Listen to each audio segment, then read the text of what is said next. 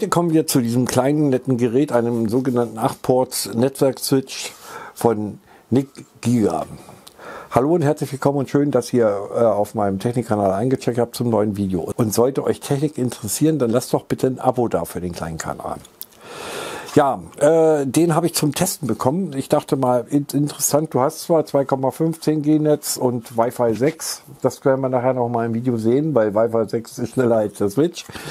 Ähm, ganz klar, wenn das Netzwerk gut ausgebaut ist. Und das ist es hier.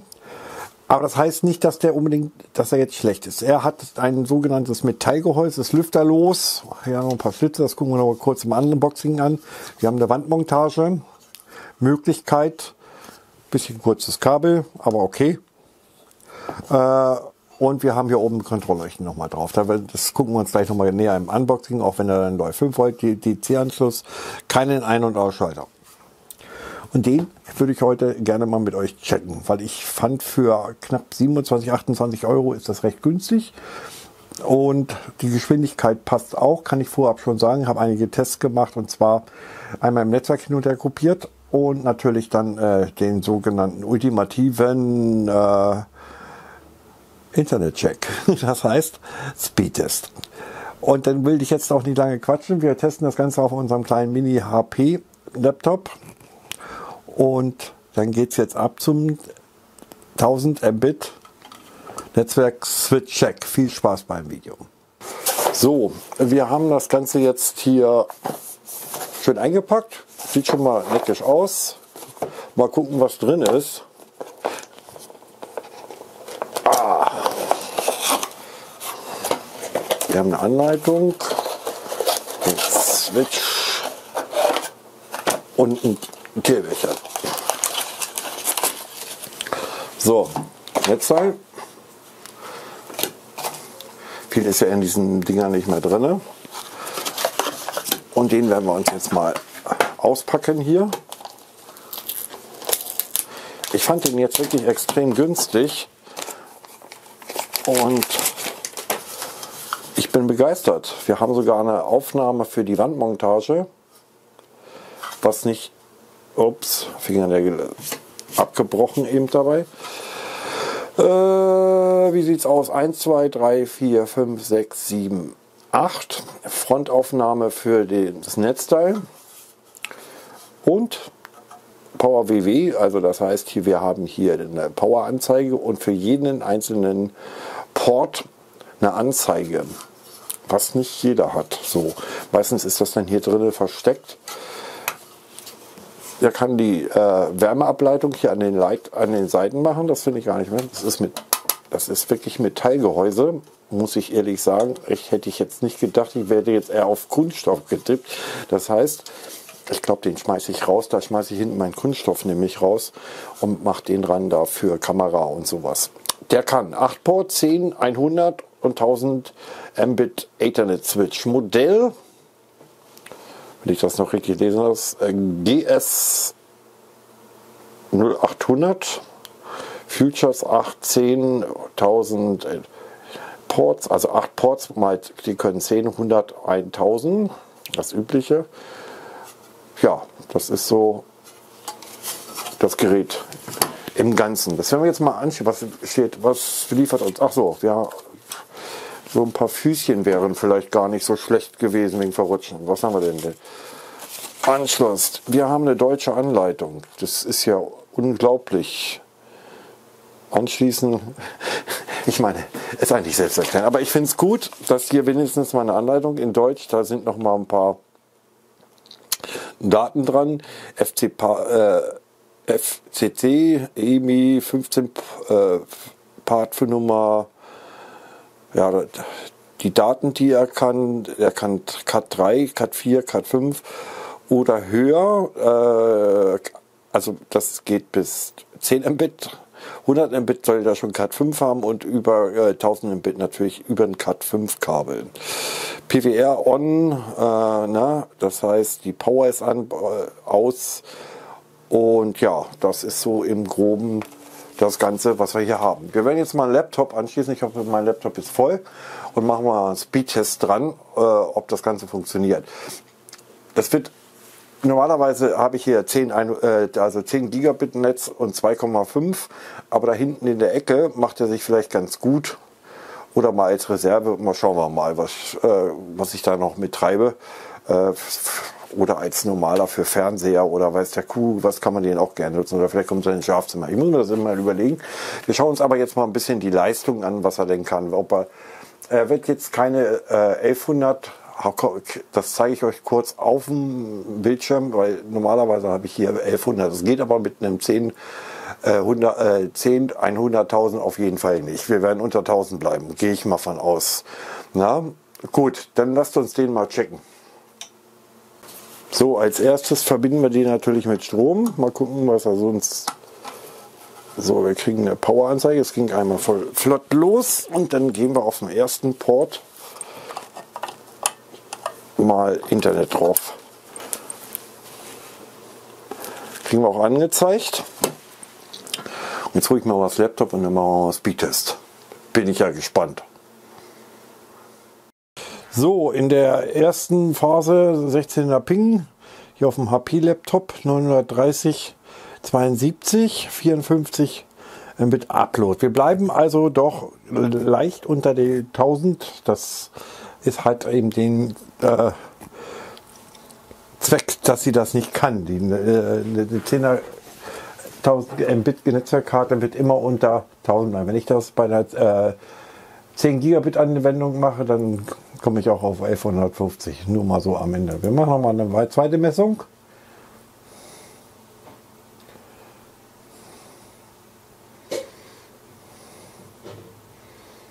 Und wir dürfen nicht vergessen, es ist ein, ist ein Laptop, das ist nicht so ganz.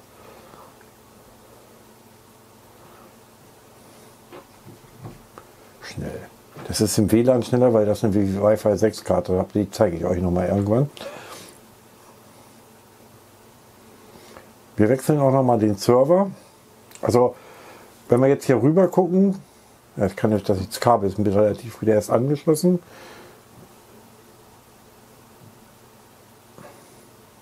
Wo man jetzt nochmal misst.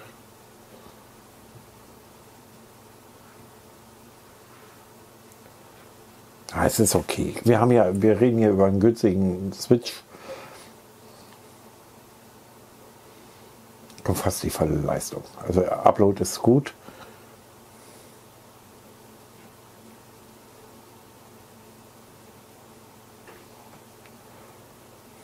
Wechseln den Server nochmal und suchen uns mal so einen, einen, der viel Meilen hat.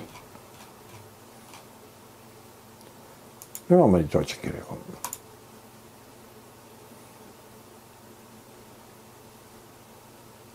Ping bleibt gleich. Das ist wirklich serverbedingt, möchte ich nochmal extra dazu sagen. Ne? Darf man nicht vergessen. So, jetzt schnappen wir uns mal äh, so 10 GB, die wir hier im Netzwerk rüber kopieren. Da ist das Ergebnis natürlich schlechter, ganz einfach. Das hat den Sinn, dass das der, Telekom ein bisschen überlastet ist. Gut, wir schnappen uns jetzt mal 10 GB. So, das wird jetzt ein bisschen dauern vom NAS. Einfach mal aufs Desktop. Äh, kopieren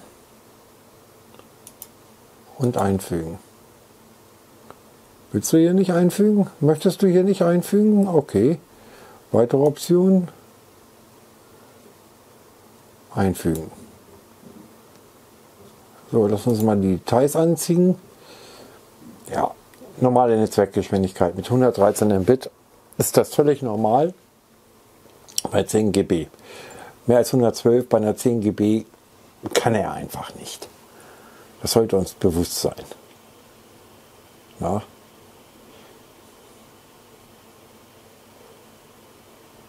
So, ich lasse das mal durchlaufen, dann kopieren wir mal wieder zurück. Dann kriegen wir höchstwahrscheinlich die gleiche Geschwindigkeit. Also der NAS ist mit einer 10 GB Karte angebunden. Das geht eigentlich normalerweise schneller, aber nicht auf einer anderen 10 GB Netzwerkkarte und Switch schon mal gar nicht. Also völlig normal. So, das gleiche machen wir jetzt wieder schön zurück, ne? da wieder hin. Und 112 bitte. 13. Aber kontinuierlich, ohne Abbruch. Ne? Das dürfen wir auch nicht vergessen. Sind 10 GB. Also, das Switch ist in Ordnung. Da gibt es nichts dran zum Maul. Der arbeitet auch und äh, wenn wir jetzt rüber gucken, hier sehen wir auch, dass er arbeitet. Während wir kopieren.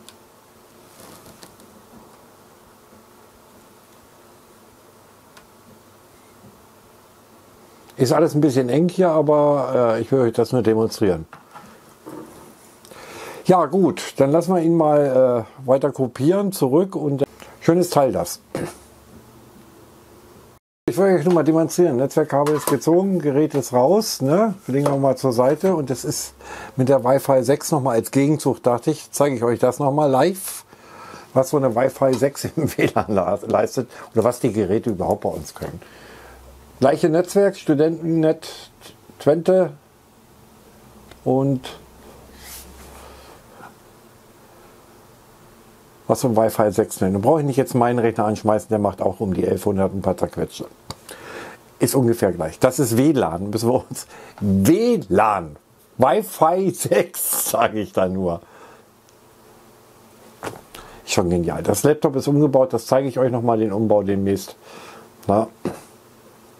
Hammer.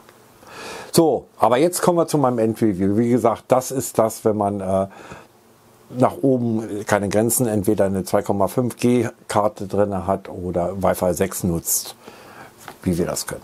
Gut, dann geht es zum Endvideo jetzt.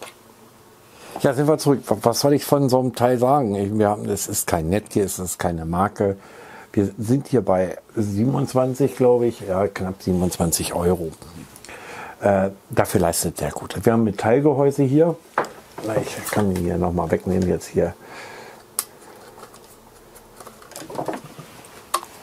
Wir haben 8 Port, darf man nicht vergessen. Schon das Lüfter los, lässt sich anbringen. Gut, dem einen und anderen wird das jetzt wieder stinken, dass das hier oben drauf ist. Aber andererseits, wenn wir ihn so an der Wandmontage haben, können wir hier oben beobachten, ist alles eingeschaltet.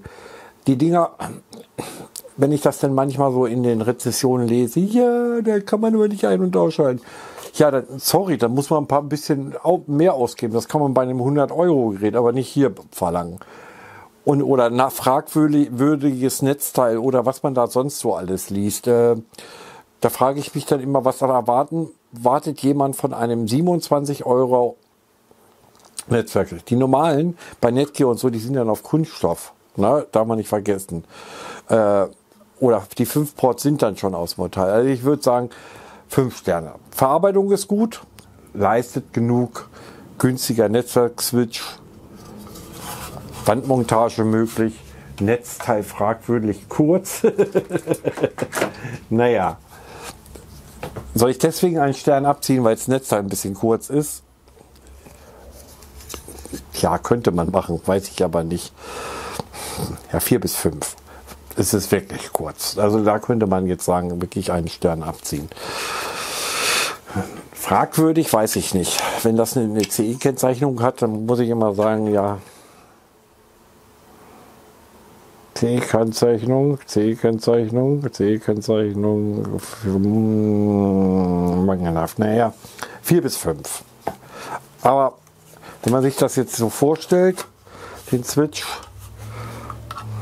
verballert den in der Nähe einer Steckdose, so an die Wand, oh, ist okay. Also Leistung, wie gesagt, wir haben gesehen, nur noch mal, um da auf unser Wi-Fi 6 Netzwerk zurechtzukommen. Ihr seht, das ist Hammer. Wie, auch zwei, wir haben eigentlich 2,5 äh, und äh, 10G. 1G können wir auch. Das nutzen nutzt man dann für äh, andere Geräte, Fernseher oder so, die das nicht können. Ja. Kann man sich kaufen. Ich werde den irgendwie mal, vielleicht packe ich ihn das mal zur Seite. Ich weiß noch nicht genau, wo ich ihn einsetze. Das muss ich mir noch überlegen. Vielleicht lasse ich ihn auch mal zur Reserve liegen. Kann man immer mal gebrauchen. Verarbeitung ist wirklich gut. Ich packe euch den mal in die Videobeschreibung. Äh, mit knapp unter 1000 Mbit und 54 Mbit bei einer 1000 Mbit Up äh, Leitung, also Upload 54, Download hat er gut gemacht. Äh, Netzwerkgeschwindigkeit 112 Mbit die Sekunde ist auch in Ordnung. Da gibt es nichts dran zu maulen. Das sind normale Geschwindigkeiten, die so ein kleiner Hub leistet. Das, da braucht man auch kein Netgear. Die sind genauso schnell. Das spreche ich aus Erfahrung. Ja, sonst muss man wirklich mehr Geld ausgeben. Wie gesagt, packe ich euch in die Videobeschreibung. Ich finde, finde auf jeden Fall, das Preis-Leistungs-Verhältnis stimmt. Vier bis fünf Sternchen. Also kurz davor kann man so sagen. Er arbeitet zu gut, springt gleich an, funktioniert alles. Wie gesagt, ab in die Videobeschreibung, wem es interessieren sollte. Das ist ein sogenannter Amazon Partnerlink. Äh, Wäre schön, wenn ihr diesen Link nutzt, euch, falls ihr euch den kaufen möchtet. Und äh, damit kriegt der Kanal eine kleine Provision. Und ihr müsst aber auch nicht mehr bezahlen. Das ist halt so. Damit supportet ihr natürlich den Kanal. Da schon mal danke. Natürlich könnt ihr einkaufen, wo ihr lustig seid. Aber ich fand den jetzt mal wirklich interessant. Na? Weil das nicht so, so ein Plastikzeug ist, den man da kriegt. Lüfter los. Den müsst ihr auch nicht, der ist Plug-in Fug, sage ich immer so schön. Anstellen, nichts einstellen, läuft. Noch da oben dazu zu sagen. Äh, die Produktmaße wollt ihr bestimmt noch mal haben. Der ist 56 mal 25 mal 40 äh, Millimeter. Ja, also 56 hat er. Schön klein, handlich, 8 Ports. Ja, das war soweit von mir, von meiner Stelle. Äh, Wenn es euch natürlich interessiert äh, hat und gefallen hat, dann nicht zu vergessen, Abo dalassen. Immer Abo dalassen, Daumen hoch. Daumen hoch nicht vergessen. Daki freut sich, dafür danke. ne? Nächste Video ist am Start. An die Abonnenten bitte nicht die Glocke vergessen, damit ihr kein Video verpasst. Und ich kann mich an dieser Stelle nur verabschieden. Ich hoffe, wir sehen uns bald wieder zum nächsten Video, was natürlich am Start ist. Bis dahin sage ich Tschüss, bye bye und freue mich auf euch. Bis zum nächsten Technikcheck. Macht's gut, euer Dagi.